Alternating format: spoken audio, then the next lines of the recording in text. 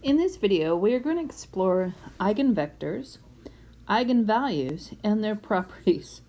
So we're going to look at how to find eigenvectors and eigenvalues and what exactly does it mean. Eigenvectors and eigenvalues um, are seen in a wide range of fields, including finance, um, mechanical engineering, image processing, quantum mechanics. So what is it? Well, suppose A is a square matrix of size n, and we have this vector that is not the zero vector, and the entries come from a complex of n number of entries. And lambda is a scalar in the complex numbers. Now, of course, this can be brought down into the real numbers as well. Then we say x is an eigenvector of A with eigenvalue lambda, if I take my matrix A, multiply it by my vector, and it's equivalent to the scalar lambda multiplied by that vector x. So let's do an example. Before we do that though, let's let's look at this theorem. And all of the theorems, of course, are in your book for your viewing pleasure. pleasure. Suppose A is a square matrix, then A has at least one eigenvalue. So this is guaranteeing that if I have a square matrix, I will have at least one eigenvalue. Here's my first example. I have a 2 by 2 matrix, square.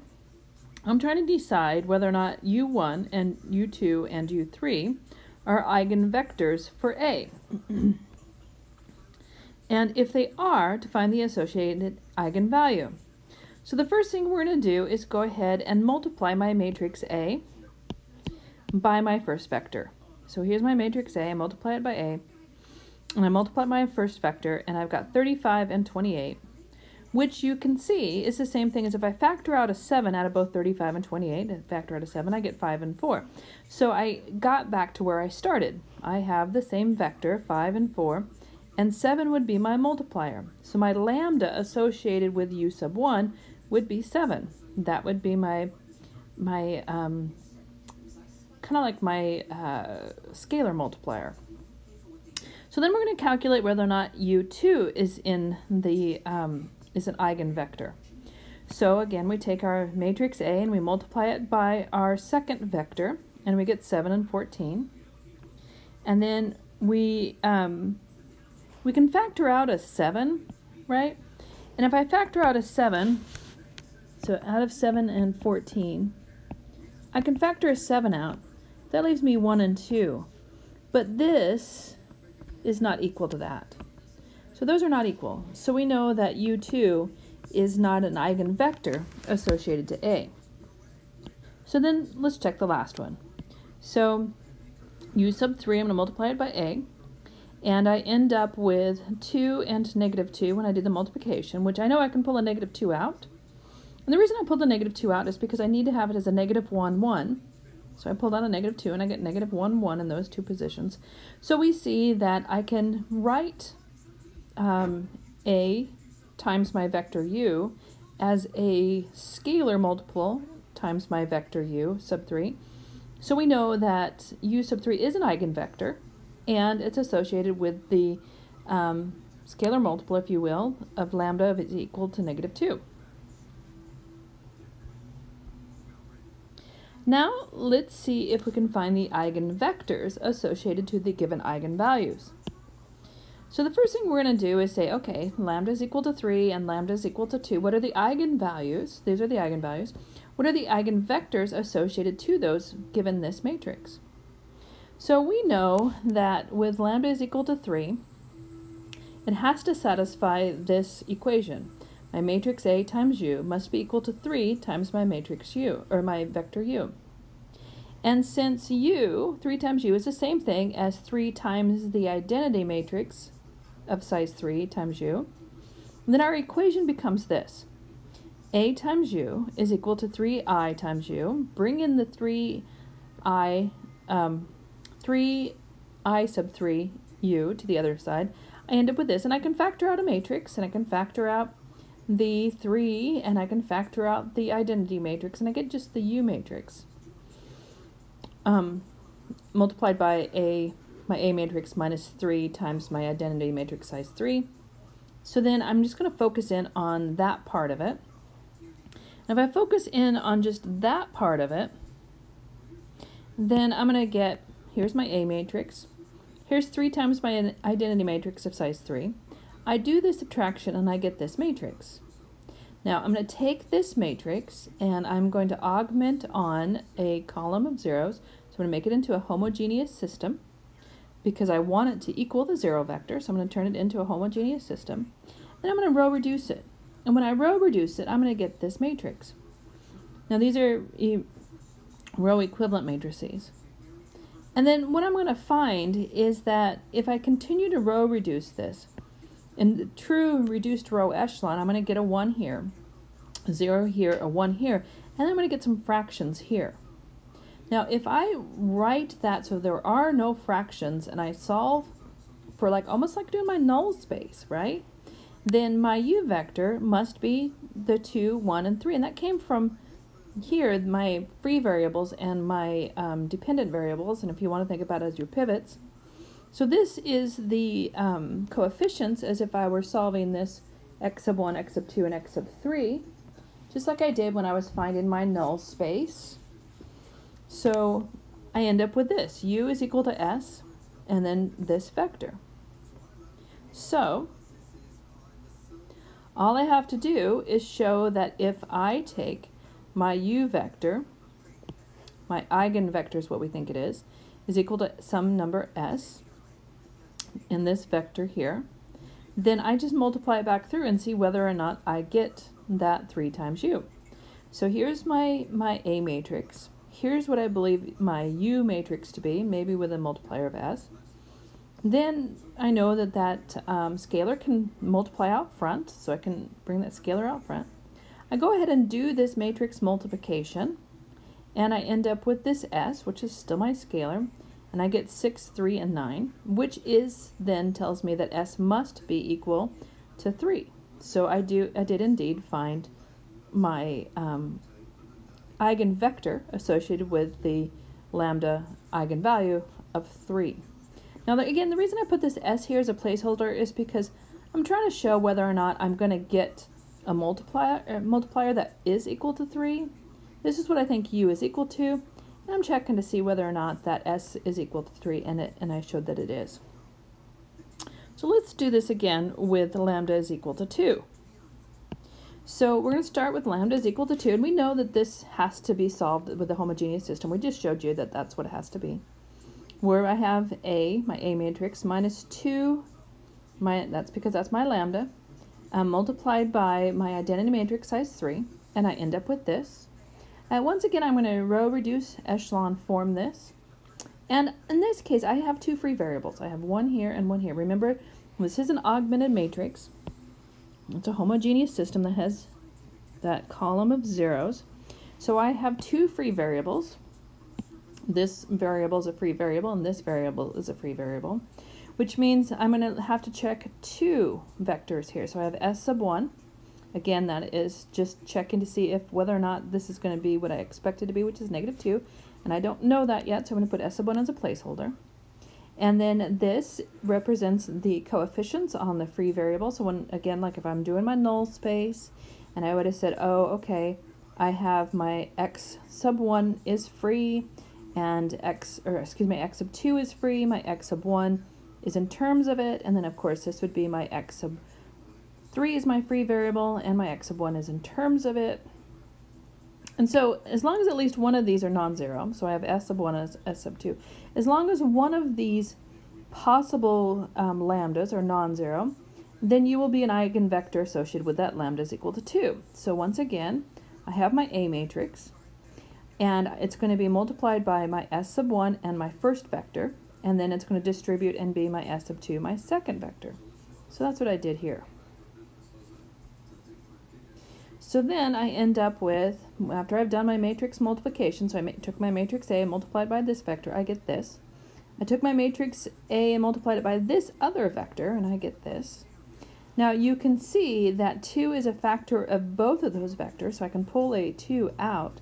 So that tells me that 2 is indeed the lambda, and my vector, um, my vectors are negative 2, 1, 0, and 1, 0, 1.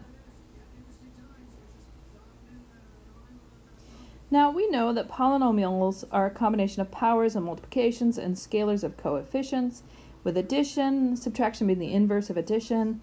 A matrix is, if the matrix is square, we get all those operations.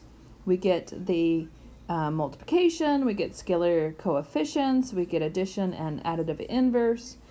So it's kind of natural to think about doing polynomials with matrix, with matrix, with um, replacing the variable of a polynomial by a matrix. So let's do an example of what that means.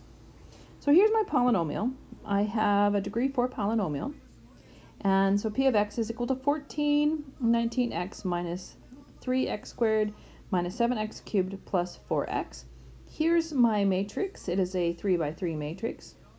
d raised to the 0 would, of course, be the identity matrix.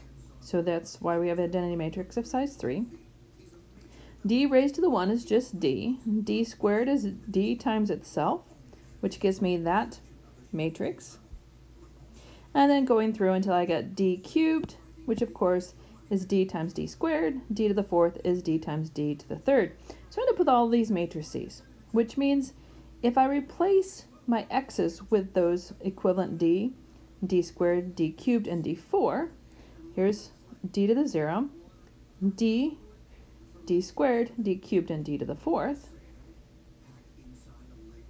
I'd end up with 14 times d to the 0, because that's d to the 0 right there. Remember, if we have a, a constant, then of course we could write that as d to the 0. And then I'd have the 19 times my d, the negative 3 times my d squared, the se negative 7 multiplied by my d cubed, and of course my d to the fourth. So then what that gives me is this matrix. So, that tells me that if I factor my original polynomial, which is 14 plus 19x minus 3x squared minus 7x cubed plus 4x, it will factor into this, use my usual ways of factoring that I learned in pre-calculus 1. Then my polynomial, so this is my polynomial, is going to factor instead of having x is I'm going to have d. So d minus 2, the identity matrix of size 3, d minus 7, the identity matrix mm, of size 3, and d plus the identity matrix of size 3 squared. So I end up with this, which I got this first piece here. This is the d minus 2i cubed. This one would be d minus 7i cubed. This would be d plus i, the identity matrix size 3, squared. Whichever I do all of that, look, I get the same thing. It's kind of cool, right? Do we care? Well, yeah. The reason that we care is because we're going to get something called a characteristic polynomial. And what a characteristic polynomial is, A is a square matrix of size n. The characteristic polynomial of A, denoted as P sub A of x, is defined by the determinant of A minus x, x of course being my, my vector, my eigenvector, and lam or just x, not my eigenvector yet, it's just my x, if we replace x with lambda and solve the above equation, we now have the tools to solve for finding eigenvalues. So that tells me up here that this must have been an eigenvalue. It must have been 2. This must have been 7 and of course negative 1. So if I connect what we just did, my eigenvalues from up above for that matrix D must have been 2, 7, and negative 1. Let's go through a smaller one, a little bit easier to follow through. And, and so we're trying to find the eigenvalues given this matrix. We, we don't have anything other than the fact that we know it has to satisfy the determinant of my A matrix minus lambda of the identity of that size must equal 0. So the first thing I do is I set up my matrix and I do subtract my lambda. So I did my lambda multiplied by my size 2 identity matrix, and I end up in the first position of 3 minus lambda, and 3, and 6, and negative 4 minus lambda. And I'm going to find the determinant of that, When I find the determinant of that, my usual way of finding a 3 by 3 or 2 by 2 determinant, remember I take these two, multiply them together, and then subtract off those two. Then I'm going to end up with this. 3 minus lambda, and then negative 4 minus lambda, minus 18, multiplying those two, and then minus the 18. I clean this up and I get lambda squared plus lambda minus 30. So now I'm in the land of quadratics, which means I can just factor this. I get lambda minus 5 and lambda plus 6 is equal to 0. So that tells me my eigenvalues are 5 and negative 6. Now, we're going to now um, formally um, give you the theorem, and again, all of the theorems are in your book for your viewing pleasure. Suppose A is a square matrix, then lambda is an eigenvalue of A if and only if the polynomial or the characteristic polynomial of lambda is equal to zero. So, there it is formally, and we are able to find our lambdas by just setting up the determinant of A minus lambda and then whatever the size of identity matrix we need to match up to the size of A. A, of course, has to be a square matrix. Suppose A is a square matrix and lambda is an eigenvalue of A, then the eigenspace of A for lambda, denoted as this funky looking E sub A of lambda, is a set of all eigenvectors of A for lambda, together with the inclusion, of course, the zero vector. So now we've got some we've got some spaces. Remember when we talked about vector spaces? Well, this is an eigenspace. And it just means that they're all built with eigenvalue or eigenvectors.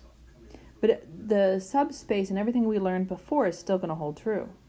Because this gives us that the eigenspace is a subspace. Suppose A is a square matrix of size n and lambda is an eigenvalue of A. Then the eigenspace is a subspace of the vector space of Cn. It's kind of cool.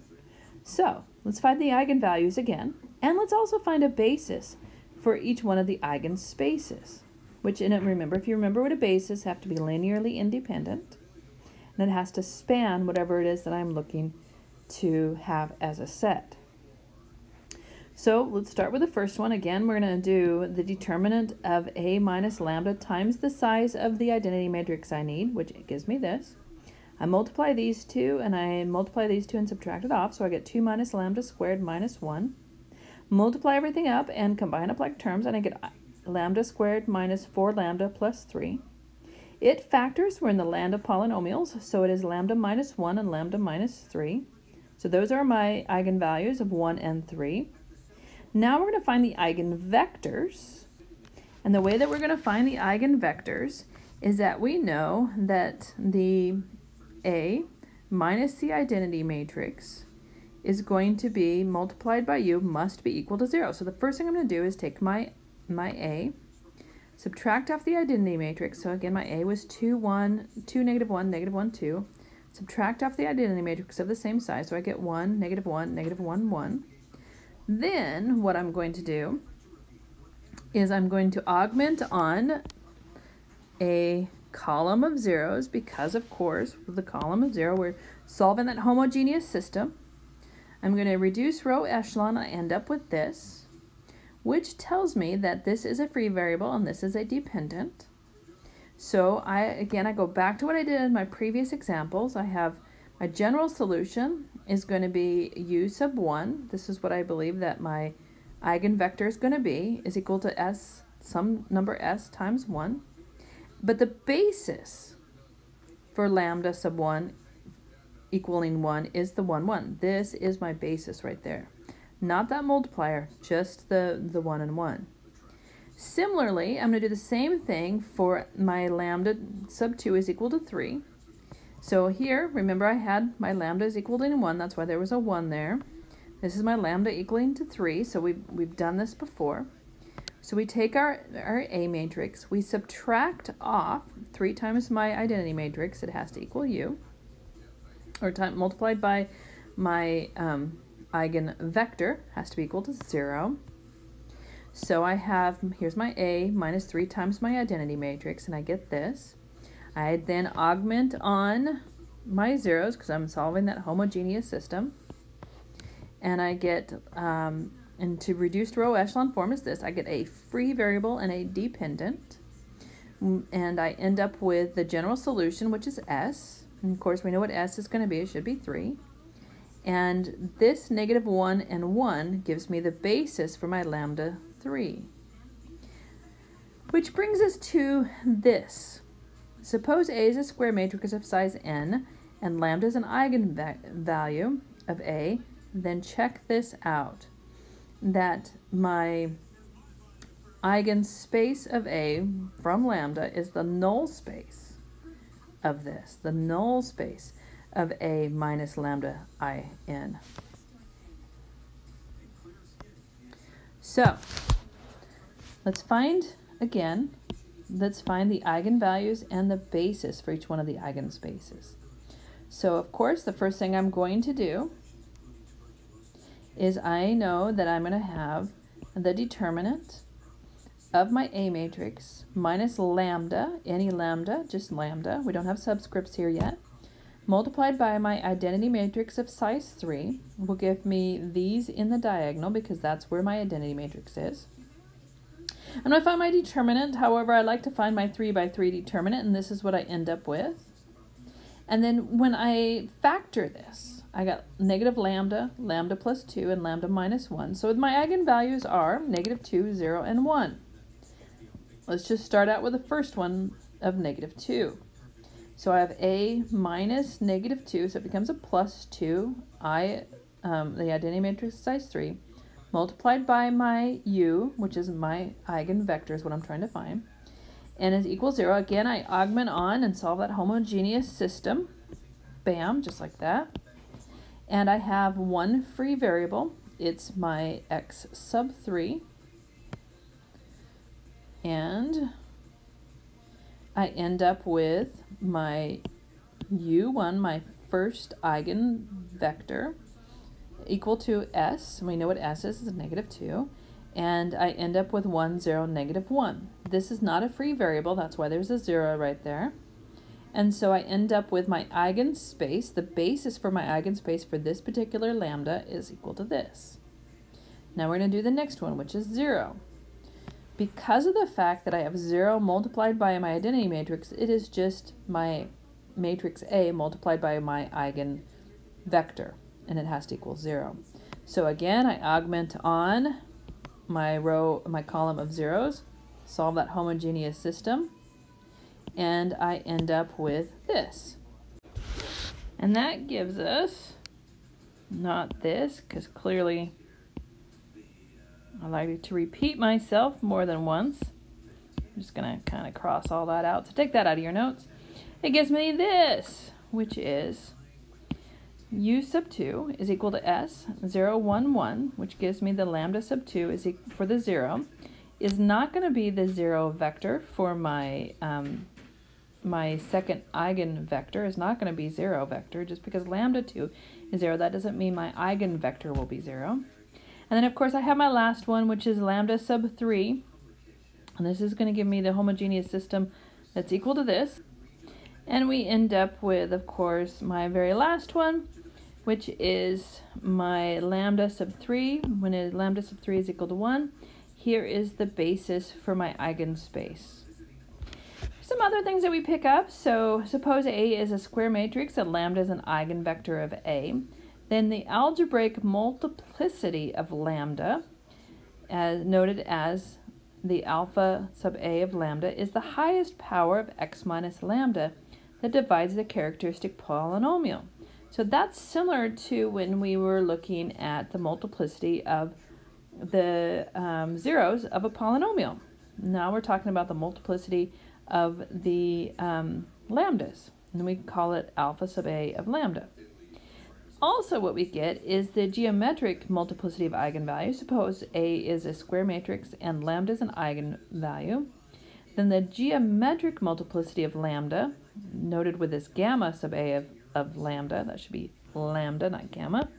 This should be lambda, is the dimension of the eigenspace. And now remember, dimension means the number of vectors that are needed for the basis. So the geometric multiplicity of lambda, noted as gamma sub A is the dimensions or the number of uh, basis vectors in the eigenspace. Now, every single eigenvalue must have at least one eigenvector associated to it. So the eigenspace is not trivial, and my lambda, my gamma sub A of a lambda must be greater than zero. That's always true. So let's do another example. Here is my A. I want to find my um, eigenvalues and I want to find my basis for each eigenspace. So you're like, okay, what do we do? And you're like, mm, I know how to do this. The very first thing I'm going to do, of course, is I'm going to find the determinant of my A matrix, my 3 by 3 matrix, minus lambda multiplied by my identity matrix, and those, of course, end up in the diagonal. That's where my lambdas ended up. Find my dimensions in my usual way, and I get negative 3 lambda plus 4 lambda squared minus 4 lambda. I factor out a negative lambda, and, of course, then I ended up with a perfect square trinomial that does factor into lambda, lambda minus 2, the quantity squared. So, I have lambda sub 1 is equal to 0, and I have lambda sub 2 is equal to 2. Now it has a multiplicity of 2. Well, how's that going to shake out? Let's, let's look at that. So we are going to start out with our first lambda, which is equal to 0. We put in our first lambda equal to 0. We just have the A matrix multiplied by the U, and of course we augment on our homogeneous system. So we augment on that column of zeros and we end up with our first general solution, which is lambda or, uh, u, my first eigenvector, is going to be equal to some s, and then with the 1, 1, 1, which is, of course, my eigenspace, uh, the basis of my eigenspace. Now, if we turn uh, to looking at lambda sub 2 is equal to 2, we form the augmented system just like we did before. So that's no surprise. Augment on, there we go. This time when we do back substitution, we get the two vectors here. And we get our lambda sub 2 is going to give us the two vectors, 1, 0, 1, negative 2, 1, 0. So I ended up with two eigenvectors for this lambda sub 2, and it also had a multiplicity of 2. Hmm. And anyways, and there's my eigenspace, which has a dimension of two. Hmm. Here's a whole bunch of important outcomes that come from what we've been doing. The first thing is if A is a square matrix and we have the set of eigenvectors, the set S, which is made up of eigenvectors, with a distinct eigenvalues, then S, that set S, is going to be a linearly independent set. So all of those eigenvectors we have been finding will be linearly independent from each other. If A is a square matrix, then A is non-singular if and only if lambda, one of the lambdas, is equal to 0. If A is a square matrix and lambda is an eigenvalue of A, then if I multiply it my lambda by a scalar, it will be an eigenvalue of my A matrix multiplied by that same scalar. If A is a matrix and lambda is an eigenvalue of A, and S, which is the multiplicity, is greater than or equal to 0, then s, and where s is, a, is an element of the integer, so it's an integer, then the lambda of s, so like my, um, before I had the 2 squared, um, had, a, had it twice, I had my lambda is equal to 2 twice, is an eigenvalue of a s, a of the same power. If A is a square matrix and lambda is an eigenvalue of A and Q of x is a polynomial with a variable x, then Q of lambda is an eigenvalue of the matrix Q of A. If A is a square matrix and lambda is an eigenvalue of A, then the inverse lambda is an eigenvalue of A inverse. If A is a square matrix and lambda is an eigenvalue of A, then lambda is an eigenvalue of its transpose. If A is a square matrix with real entries and X is an eigenvector for A, for the eigen with the eigenvalue of lambda, then the conjugate we call it x bar, is an eigenvalue with the eigen is an eigenvector of A with the eigenvalue of its conjugate lambda. If A is a square matrix of n, then the characteristic polynomial A, p of A of x, is of degree n. So my characteristic polynomial, you know you've made a mistake if you end up with a polynomial of degree 3 and your size of your matrix is a 2, is a 2 by 2. You know that you're going to have a problem there. Or similarly, if you have a matrix that's a 3 by 3 and your polynomial, your characteristic polynomial is a degree 2, you made a mistake. So your they must match in size. Your characteristic polynomial has to be the same degree as the size of n, of a. So if it's a 4 by 4a, then you better have a characteristic polynomial of degree 4. It's just a check for yourself. If we have lambda 1 to lambda k are distinct, that means they're non-repeating eigenvalues of a square matrix A of size n, then if I take my lambda of A, the summation of my lambda sub A of my eigenvalues, they must equal n as well. If A is a square matrix of n and lambda is an eigenvalue, then 1 has to be greater than or equal to my gamma sub A of lambda, which has to be less than or equal to my alpha sub a of lambda, which has to be less than or equal to n. Last couple of things. If A is a square matrix of size n, then A cannot have more than n distinct eigenvalues. So if you have a size 3 matrix, a 3 by 3 matrix, you can't have four eigenvalues. At most you're going to get is three distinct ones, which means they're non-repeating. You could have one that is repeating, and you should have one that repeats three times, but you're never going to have more than the size of your matrix N. If A is a Hermitian matrix, and I remember Hermitian it's self-adjoint, where the original matrix is equal to its adjoint, then and, and lambda is an eigenvalue, then lambda has to be a real number.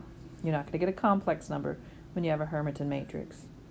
If A is a Hermitian matrix and x and y are eigenvectors of A with different eigenvalues, then x and y, which are eigenvectors, must be orthogonal vectors. So we're going to come back to that. And then, of course, we are now going to look one more time at our non-singular matrix equivalence, and what we picked up was this. Lambda equals to 0 is not an eigenvalue of A. That's the new one that we picked up. So lambda is equal to 0 is not an eigenvalue of A. That's our new one. And that's it for eigenvectors, eigenvalues, and their properties.